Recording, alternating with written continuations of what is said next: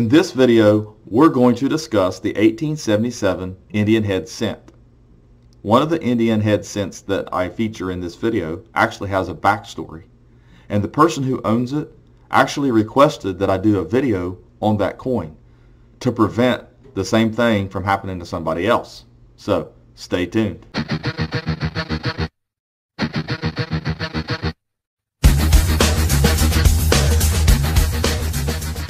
When I do videos like this and I point out people selling fakes and overpriced coins, you know, I hear a lot about capitalism. I hear a lot of debates or at least comments about this being buyer beware, a fool born every minute, or they're stupid or whatever. You know, this isn't about somebody buying it, okay? Because that's not the only reason I do these videos.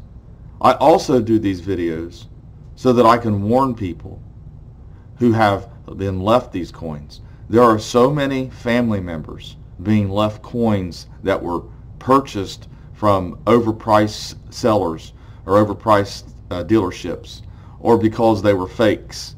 You know, people don't always know. So basically, you want to call the person a fool who bought it, but what about the person who's left the coin and doesn't know anything about coins and thinks they've got a windfall? This is the reason I do these videos it hurts other people. It's not just about the person who's buying it. So, thanks for watching my latest video, and I'm Daniel with Coin Help You. Please hit the subscribe button with the little bell, and like, share, and comment. Get the word out on these videos. Get the word out on this coin. So, we're going to get started. Okay, here's the backstory. I got a message from somebody who joined my forum, and they posted, actually private messaged me an image of an 1877 Indian head cent. Now, the 1877 Indian head cents, business strikes, the authentic business strikes, have a weak in in one on the reverse. That's one of the ways to tell if a coin is authentic or not. And here's a, I'll show you an image of it. Right here is the reverse. As you can see, the N is weak. Now since this coin didn't have a weak end and kind of looked a little proof-like. They automatically thought, well, then it's got to be a proof. And that's what they wanted to know. Now, the one thing about this is, is that this person didn't buy this coin. This person was left this coin by a loved one. Okay? So they acquired it thinking that they were getting something good and had something good. And it turned out that it was fake. Now, I'll show you here. Posted all these pictures of the coin. And at first glance, the coin looks pretty good.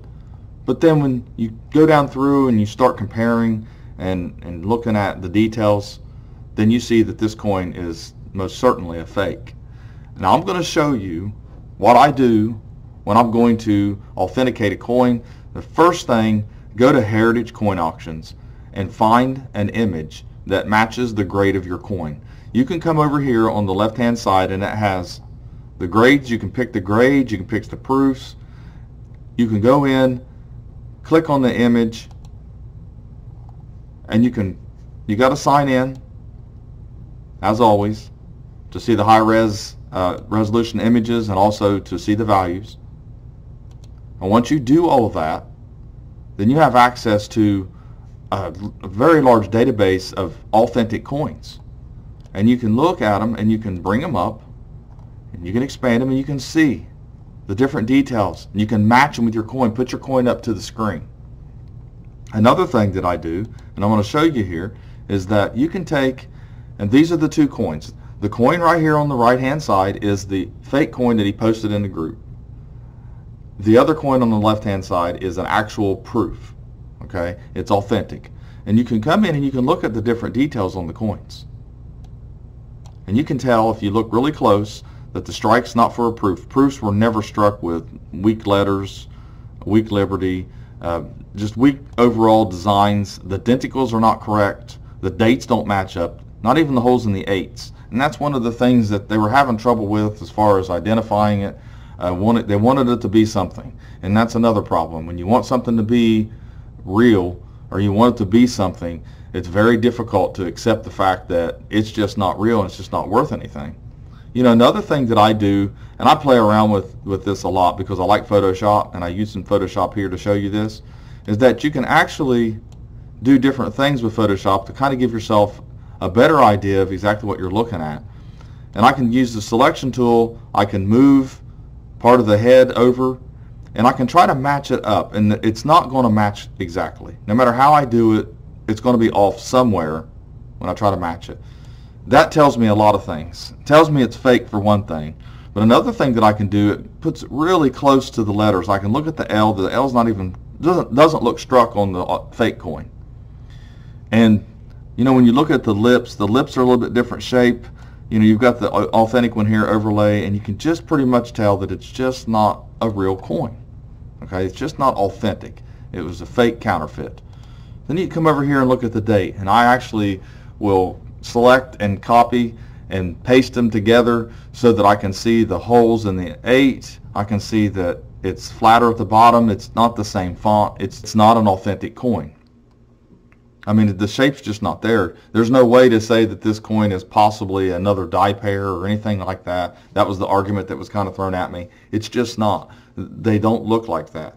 And they, you know, that's one of the things that people have to realize you know, if you learn Photoshop is going to save you a bunch of money because you can actually bring up coins like this and you can copy and paste and you can put them together and you, uh, just like any pro or anybody that's looking at these coins and you'll be able to identify them and be able to tell if they're fake. You know, it helps if you have a large image. It helps if the images are clear. And that's another thing when you're posting these coins in groups and things like that. Post cropped clear images. That way we can look at the coin and we can say, hey, you know, that coin's fake. You know, there's a lot of fakes out there. And you know, one of the things that people do, and like I've shown you before, uh, this one's on eCrater. Uh, if you type in 18 by 1877 Indian cent, and you'll see a lot of them that are fake here. But you know, this one is kind of comparable to it. This is going to fool a lot of people. This one right here will fool people. Even though, you know, people say that you should know better, you should be able to look. But what if you're left this coin and you don't know coins and you're thinking, well, this person knew coins, so they left me something good, you know, now I'm going to cash in. Well, that happens so many times and you're not going to be able to cash in on a fake coin.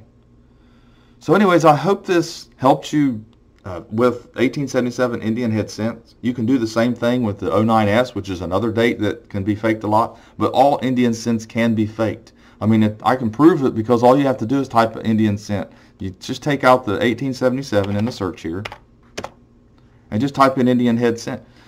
You, you know, you can find all kinds of them for sale and you're going to find all kinds of, of fakes.